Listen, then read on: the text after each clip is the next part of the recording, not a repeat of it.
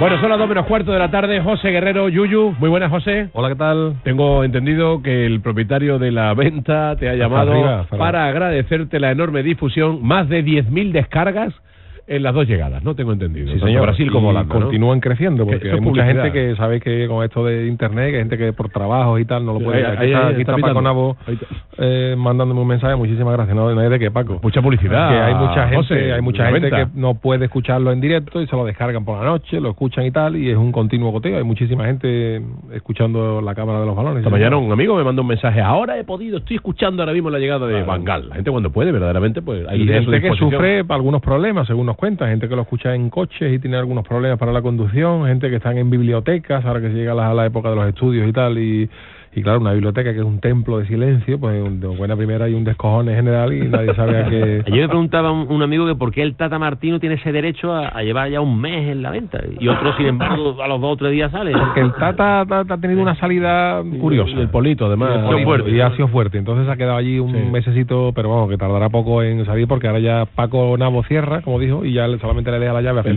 Fernando Alonso para que entre y salga cuando él quiera.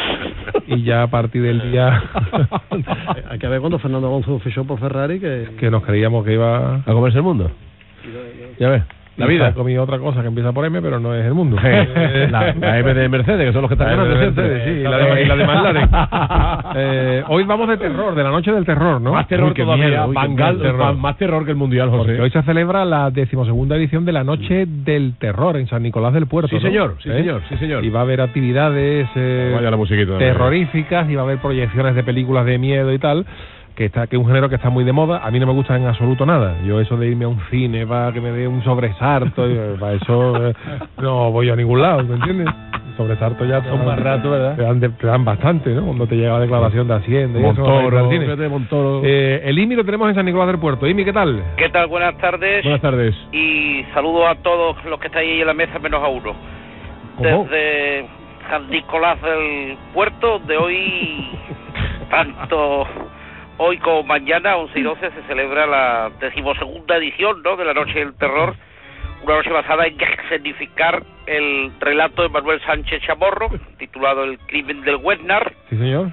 Y en que esta noche pues la gente se, se disfraza de personajes de terror, como vampiros, bombias, monstruos, inspectores de hacienda, cobradores de ocasos, zombies, en fin. Y van saliendo a la calle a sembrar el terror de los vecinos de San Nicolás a campo abierto, ¿no? Y, y aquí bajo las estrellas de, de la noche sevillana en la Sierra Norte pues están los personajes de la cámara a los que Paco el Becario va a ir entrevistando en los próximos minutos. Está muy, muy, muy... ¡Coño! ¿Eh? ¡Niña! ¡Que me he cagado! ¿Está la niña del exorcista? De eso viene vestida, pero como grita, parece que... ¿Lo está echando garbanzo? Parece un- una rata pisada. A ver, otra vez el grito, niña. A ver cómo es. ¿Cómo lo hace, niña? no tiene pocos dientes. Que Señor. está Paco el becario con la gente. Es que, es que esto es divertido y estamos Sí. creando ambientación porque de verdad, de verdad que acojona, ¿eh? Vamos a escuchar a Paco el Becario, que están algunos de los personajes que vienen a este ciclo de películas de terror. Eh, Paco, ¿qué tal? Sí, buenas tardes compañeros. Aquí estamos un poco en este ambiente acojonante, perdón, eh, y permítaseme la palabra. Y uno de los personajes que se ha dado cita por aquí para esta Noche del Terror, esta segunda, decimosegunda edición de la Noche del Terror, pues el comandante Lara, que ya te Hombre. paso, que viene ataviado para tal efecto, ¿no? Comandante, ¿qué tal? Buenas tardes.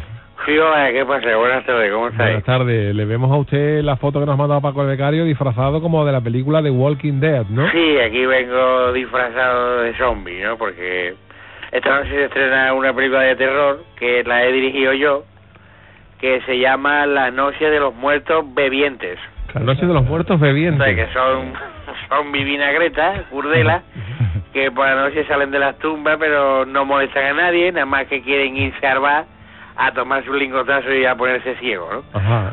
La película comienza con una escena donde los muertos salen de la tumba y se acercan a un bar y se escucha una voz gritando que dice los muertos, los muertos, los muertos, pero no es el camarero, sino los zombies acordándose de toda la familia del camarero porque tiene el bar cerrado y están todos mosqueados a la puerta. ¿Y al final entran o no?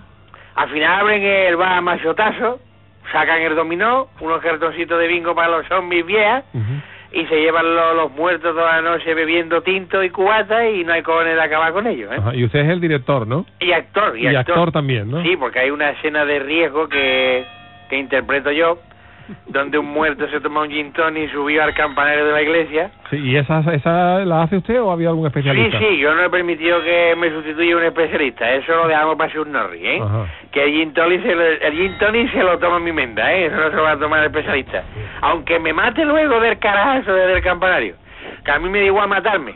Si yo voy ya de muerto con su misa, con su misa esa ya y todo, así que me da igual. Bueno, pues es la película del comandante Lara que se va a estrenar hoy en San, Juan- en San Nicolás del Puerto, La Noche de los Muertos Bebientes, y el INI está con otro personaje que estrena film, ¿no? Sí, si no fuera por el atuendo me hubiera costado trabajo reconocerlo, como me está pasando con muchos de los personajes que vienen vestidos de tal forma que es imposible no saber quién es a la primera, pero en el caso de, de quien te voy a presentar, me parece a mí que no hay duda. José Enrique, ven aquí, Hombre, ponte esto.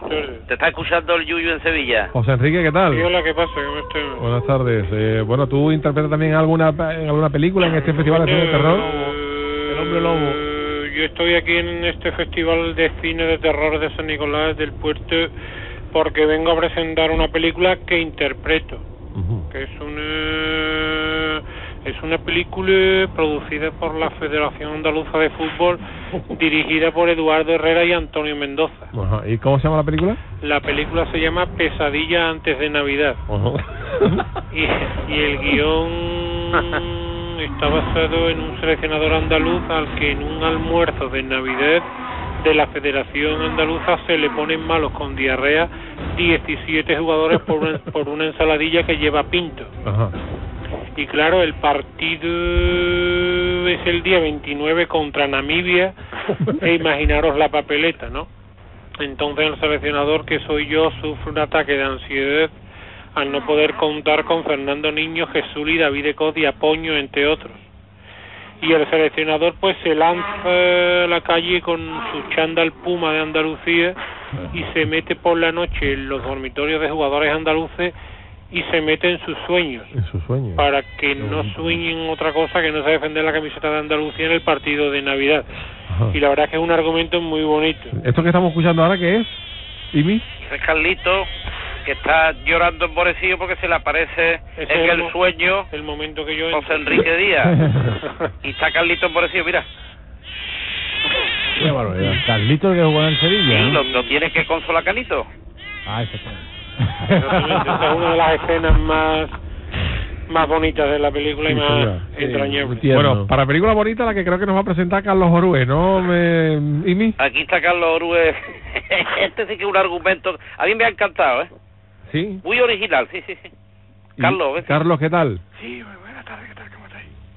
Pues aquí estoy para presentar una película de terror que, que he dirigido yo. Porque ahora el terror está de moda y, y le da dinero. Y a ver si me saco unas perrillas que tengo el verano en lo harto y, y me tenido que ir de vacaciones a un charco de, la calle Larga, Jerez. ¿eh? A un La charco. película... a un chat. Uh, eso es de terror, sí, a un charco de la calle Larga en Jerez. La película va sobre un camarero que que se corta la mano cortando una caña de lomo con un cuchillo. Que se corta la mano cortando una caña de de... lomo con un cuchillo y a consecuencia de una maldición en las noches de luna llena pues se convierte en el hombre lomo, El hombre lomo. el hombre lomo. Y la escena más impactante es cuando el camarero está en su terraza después después del corte y cuando sale la luna llena pues empieza a transformarse en caña de lomo. Esto es por efectos especiales todo, ¿no? Y, hemos visto, hemos visto la yo he visto el tráiler y la transformación del hombre en caña de lomo, eh, la verdad que está hecha... Empieza a ponerse el hombre rojo cobrizo, se le llena la cara de tocino Sí. y le sale una guita verde en la cabeza y, y se llena toda la caña de pellejo menos la, la primera rodaja, ¿no? Y el hombre lomo pues está toda la noche aterrorizando a la gente del pueblo que, que me llama a mí que soy cazador de lomos. sí, señor, claro, claro. Además experto, ¿no?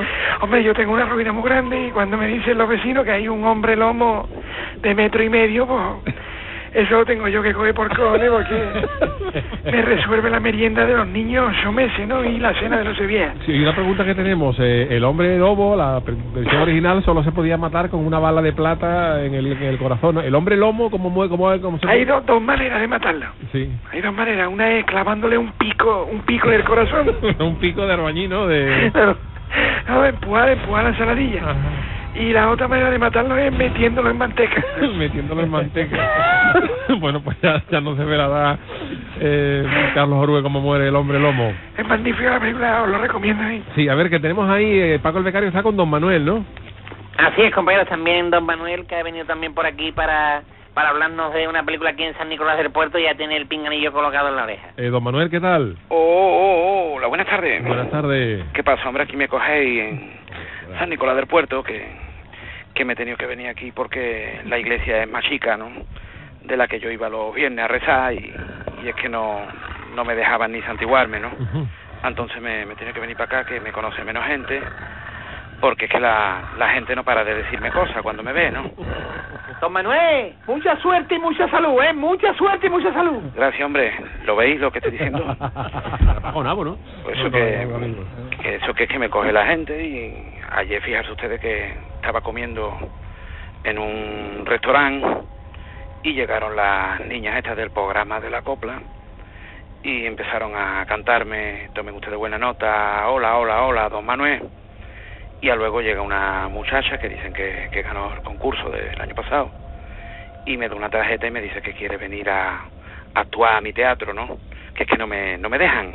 Don Manuel, que ya me voy. Lo, lo que te dije antes, mucha suerte y mucha salud, ¿eh? Lo veis ustedes otro, otro con lo mismo. Lo estáis viendo, ¿no? El mismo. El mismo, Manuel. Todo el mundo igual. Otro. Todo el mundo igual. ¿Y usted viene a presentar alguna película? Mira, yo vengo a presentar una película que es El regreso de la momia. El regreso de la momia. ¿Y esta la interpreta usted o cómo va eso? Donde yo hago de momia egipcia. era un faraón egipcio que estaba comprando unas pirámides en Itasa y cuando le digo al vendedor que estaba un poco sordo, venda, venda, véndame sin miedo, hombre.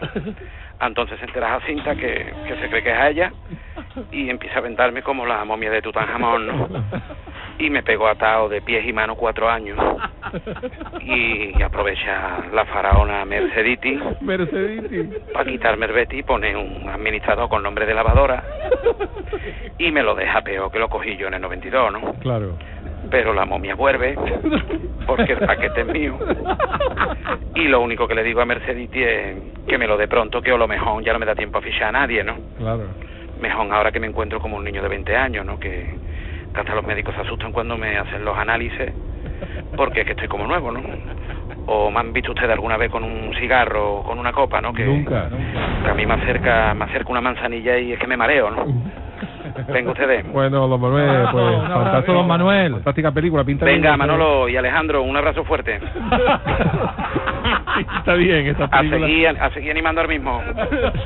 Seguir animando al mismo esta película El regreso de la momia, protagonizado por Don Manuel Ruiz de la Opera. Rafael Chulón, ¿qué tal? Berry Breaker. ¿Qué tal? ¿Cómo estás? Aquí estoy en los bares del el Loli, con el Raspa, la Tonta, Girvana, el Revientaperro, el Tormenta, el Pocarropa, la Plinto, Popeye, el Cabeza, la Chunga, el Cala con la Rebeca de King África, el Sapo y la India. Ajá. A ver la noche del terror, Berry, Breaker, Breda, Embrio, Embrión. ¿Te gusta a ti ese, ese, Con el género de cébolo. terror? Ahí tenéis a Alejandro, Alejandro Teutón. Un abrazo, Berry. Lucio.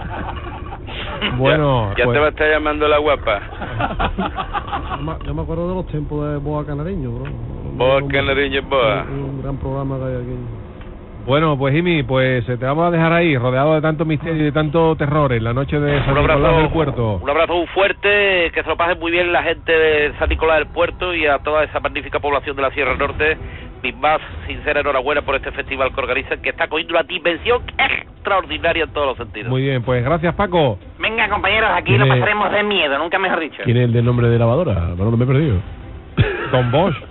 Ah, claro, Don Bo, Don Bo, yo. Ahora, claro. ¿Qué iba a decir, Yuyu? A Paco el Becario que lo que tú coges ahora mismo la Vespa y te vas para Brasil, ¿no? Para cubrir, para cubrir el mun- los dos Sí, ahora mismo, ahora mismo me voy en Vespa, no me va a dar tiempo de ver el festival y voy a tener que tirar para Brasil para ver el tercer y cuarto puesto y luego para ver la final el domingo. claro. ¿Y el lunes? ¿Y el lunes? Y el lunes- Y el lunes os lo contaré todo. El lunes a gran, a gran venta de, Ya. de, de- de la el última lunes ya para de la venta para recibir a, a, a Brasil, a Brasil digo, A no, o, o a Argentina o a, o a los alemanes. Alemania. Bueno, un abrazo. Adiós. Buen fin de semana, señores. Hora 14. Un abrazo.